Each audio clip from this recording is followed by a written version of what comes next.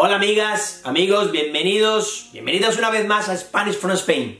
Yo soy Reyes y hoy os voy a enseñar vocabulario relacionado con la corrupción. Así es, porque decidme una cosa, en vuestro país hay mucha corrupción, podéis dejarlo en comentarios, dejad en comentarios vuestra nacionalidad y el grado de corrupción que creéis que hay, porque sigue siendo uno de los males el siglo XXI.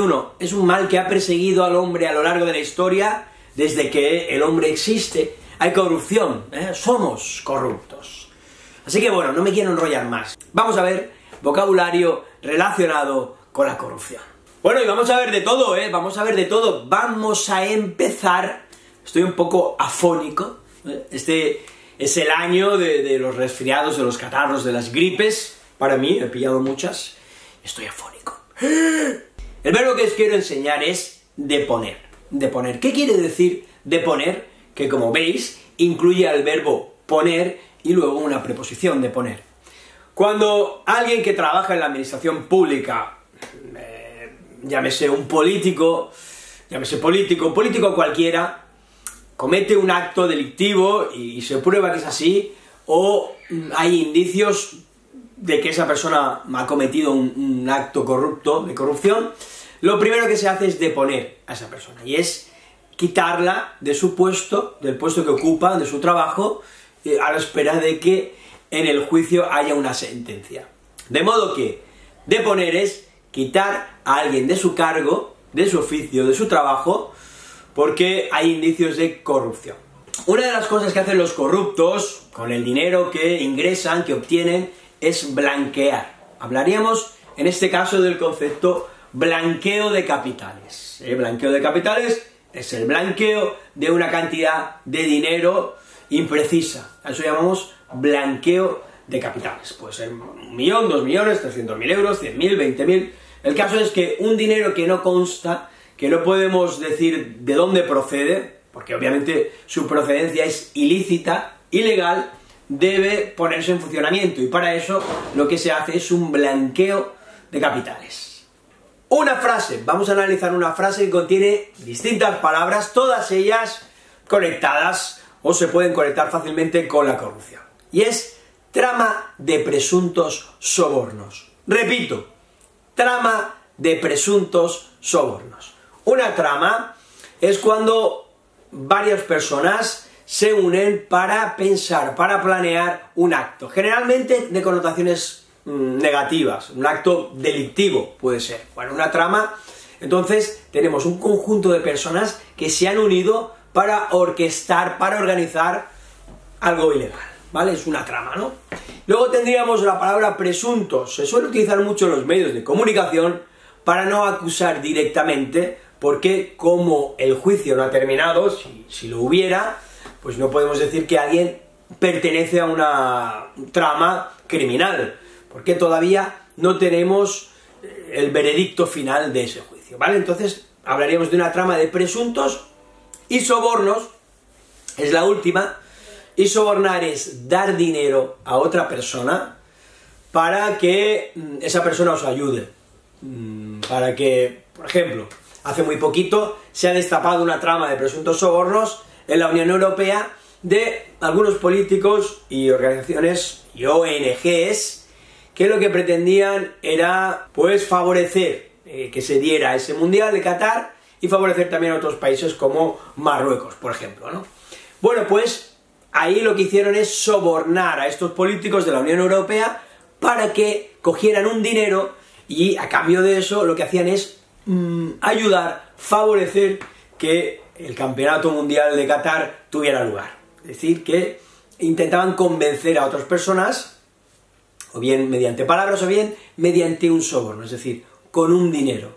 Tú votas por esta propuesta y yo te doy un dinero a cambio. Esto sería un soborno. una expresión relacionada con el blanqueo de capitales. Cuando blanqueamos mm, dinero, lo que hacemos es eh, insertarlo, digamos, en, la, en los intercambios legales de, dinero. Hacemos un dinero legal. Entonces, podemos decir que ese dinero anteriormente a ser blanqueado no era limpio. No ser dinero limpio es un dinero que se obtiene de manera criminal. ¿vale? O mediante delitos, mediante robos, mediante atracos, es decir, no es dinero limpio. O a veces es un soborno, alguien te da dinero para que tú favorezcas a esta persona. En ese caso, estamos hablando, queridos estudiantes, de un dinero que no es limpio. En español, cuando decimos que un dinero no es limpio, es que ese dinero proviene de un negocio turbio, de un negocio sucio, de un negocio ilegal. Habíamos visto el verbo de poner al comienzo del vídeo y aquí os traigo otro que es inculpar. Inculpar es acusar a una persona de haber cometido un delito. ¿Vale? Así de sencillo. Si inculpamos a alguien, lo que hacemos es acusarlo. Es una palabra más culta que, o una palabra, un verbo más culto que el verbo acusar, pero significa exactamente lo mismo. Más verbos. Incautar. Incautar es lo que hace el Estado cuando alguien ha cometido un delito de malversación, cuando alguien ha recibido dinero mediante un soborno, cuando hay un dinero que es negro, no se sabe de dónde viene, y esa persona está acusada. Imaginad que alguien tiene 5 millones de euros en el banco, y cuando le piden a esa persona que explique de dónde procede el dinero, pues esa persona mmm, no puede, no quiere o no sabe cómo explicarlo. Lo que van a hacer las autoridades pertinentes en ese caso es incautar, es decir, coger todo ese dinero o, bien bloquear todo ese dinero en esperas de que mmm, se lleve a cabo un juicio. Ese juicio lo pierde esa persona, entonces ese dinero pasará a ser del Estado. Si ese juicio lo gana esa persona y puede demostrar que es un dinero perfectamente legal, pues sería devuelto. En cualquier caso, lo que se le hace a esta persona que está en un juicio y que es cuestionable eh, de dónde procede una cantidad de dinero, es incautar. Te pueden incautar el dinero por pertenencia a una organización criminal.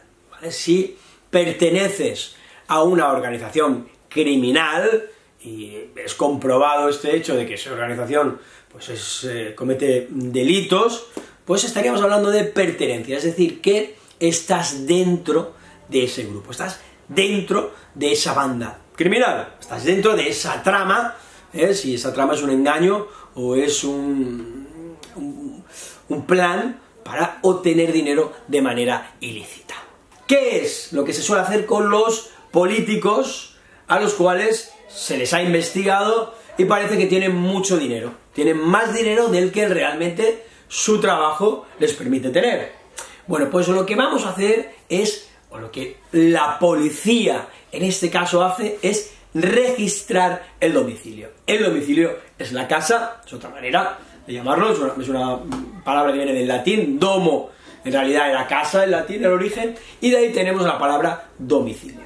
Pues registrar es buscar eh, tratar de hallar cosas que mm, inculpen a esas personas de mm, el de delito que han podido cometer. Es decir, se mirará si tienen dinero, se mirará si tienen armas, se mirará si tienen drogas, se mm, eh, requisarán todos los dispositivos eh, electrónicos que puedan inculpar a esas personas o que mm, la policía entienda que puede tener pistas para resolver esa trama de la organización criminal, si lo hubiera. A veces, los sobornos se pueden hacer mediante pago en metálico, con un dinero, o a veces se hace mediante regalos, relojes caros, coches, viajes, en fin, todo este tipo de cosas que eh, hacen las personas que tienen mucho dinero, que en cualquier caso no soy yo. Bueno, pues eh, hablaríamos de beneficiarios os quiero enseñar el concepto beneficiarios de regalos. Un beneficiario de regalos es la persona que se beneficia, que se lucra, que, cuyo nivel de vida aumenta, se ve beneficiado, se ve favorecido por regalos. Regalos, coches de alta gama, viajes maravillosos y ese tipo de cosas que hacen los corruptos. Bueno, pues eso, es hora de acabar, es hora ya de acabar, acabemos pues con dos conceptos relacionados con la libertad. Eh, pero aquí ya estaríamos hablando de alguien que ha sido procesado, de alguien que ha sido inculpado y cuyo veredicto final ha sido culpable. Bueno, pues esa persona pasará el tiempo que la justicia entienda razonable en prisión, o justo, y lo que hará entonces, una vez acabada mm, pues ese tiempo, será pasar a estar en libertad. Y voy a hablaros de dos tipos de libertades. La primera es libertad restringida, es decir, eres libre, pero tienes una serie de requisitos que cumplir. Hay un protocolo que se debe mm, cumplir en cualquier caso. Tal vez tengas que ir a pasar las noches a dormir en prisión, tal vez tengas que ir mm, determinados días a, algún lugar, a, tener una entrevista con alguien, en fin, es una libertad restringida porque no es una libertad completa, ¿eh? en ningún caso.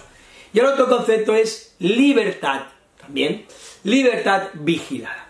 En este caso estaríamos hablando personas que mm, en su mayoría han cometido delitos de carácter sexual, ¿vale?